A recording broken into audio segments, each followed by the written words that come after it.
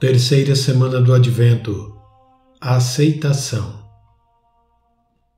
Aqueles que amam a Deus não protestam, seja o que for que ele lhes peça, nem duvidam da sua vinda quando ele lhes envia horas difíceis.